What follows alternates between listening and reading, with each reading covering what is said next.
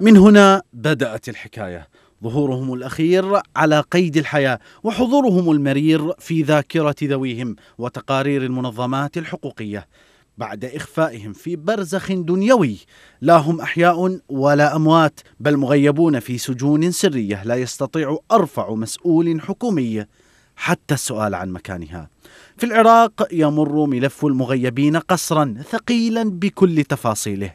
بدءا من تسلسل المأساة ومكانها وزمن حدوثها وصولا إلى المسؤول عنها واحتمالات النهاية.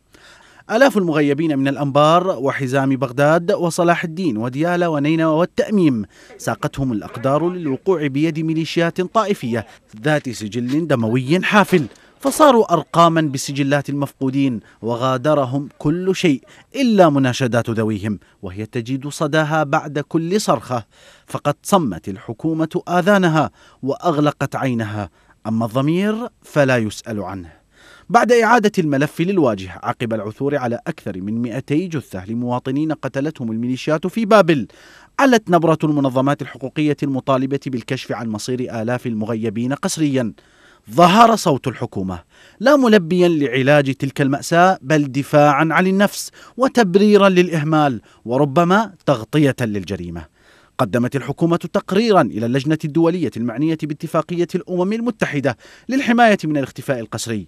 أوردت فيه جملة مغالطات لم تعكس حقيقة الملف لكنها تجاهلت الحديث عن مصير آلاف المواطنين المختطفين الذين نزحوا بين عامي 2014 و2016 وأهملت ذكر التحديات التي تعرقل البحث عن مصيرهم.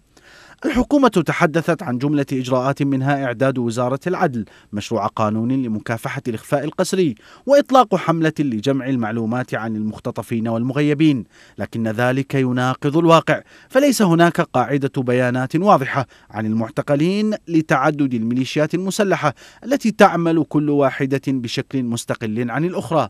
التقرير الحكومي سرد حديثا منمقا عن تعاون الأجهزة الأمنية في الأمر ما يتنافى مع تأكيد لجنة حقوق الإنسان النيابية عرقلة الحكومة وأجهزتها الأمنية وعدم تعاونهما في قضية المغيبين والمعتقلين. فضلا عن الصعوبة في إجراءات التحقيق والتحري عن الجرائم المرتكبة ضد الأشخاص المخطوفين قسريا. وزارة الداخلية بحسب التقرير الحكومي تتابع منتسبيها للحيلولة دون وقوع حالات الاختفاء القسري بيد أن الواقع يؤكد أن الحكومة لا تملك سلطة على ميليشيا الحشد التي تدير سجونا سرية في جرف الصخر ونينوى وغيرها من المناطق. لا يسمح للحكومة أو أي جهة أخرى بالدخول إليها أو حتى متابعتها. تحالف القوى أصدر بيانا انتقد فيه التقرير الحكومي وذاك يقود إلى تساؤل عن دور التحالف والقوى السياسية التي تزعم تمثيل تلك المحافظات وعن ماهية الدور الذي لعبوه في القضية وعن سر صمتهم الطويل وحديثهم المفاجئ. يكفي أن تشهد على الجريمة وتسكت لتحسب مشاركا فيها.